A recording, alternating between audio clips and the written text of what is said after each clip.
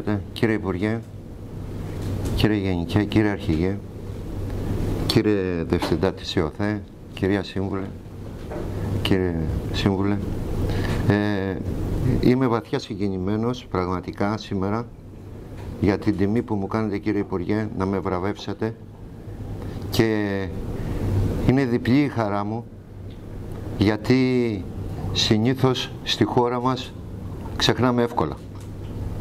Μετά από τρεις μήνες από την αποστρατεία μου ε, έρχεστε να με βραβεύσετε και αυτό είναι πολύ σημαντικό για μένα.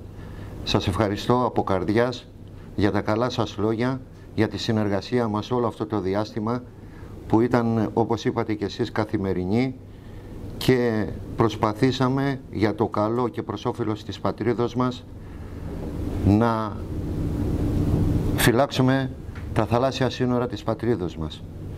Και πιστεύω ότι αυτό το βραβείο, αυτή η βράβευση μπορεί να, να το παίρνω εγώ αυτό το βραβείο αλλά ανήκει σε όλα τα στελέχη του σώματος. Σε όλα αυτά τα παιδιά γιατί πραγματικά τα θεωρώ παιδιά μου νυχθημερών 365 μέρες του χρόνο δίνουν τον καλύτερο τους σε αυτό με επαγγελματισμό, με φιλότιμο, με ζήλο να προστατεύσουν τα θαλάσσια σύνορα της πατρίδας μας.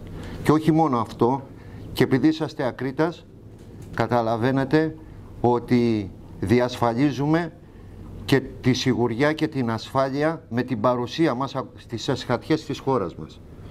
Το σώμα είναι παρόν παντού. Και έτσι πιστεύω και ο νέος αρχηγός ε, το ίδιο πράττει. Λοιπόν, να σας ευχαριστήσω για μια ακόμα φορά για την τιμή που μου έχετε κάνει για τη βράβευση αυτή. Σας ευχαριστώ μέσα από την καρδιά μου.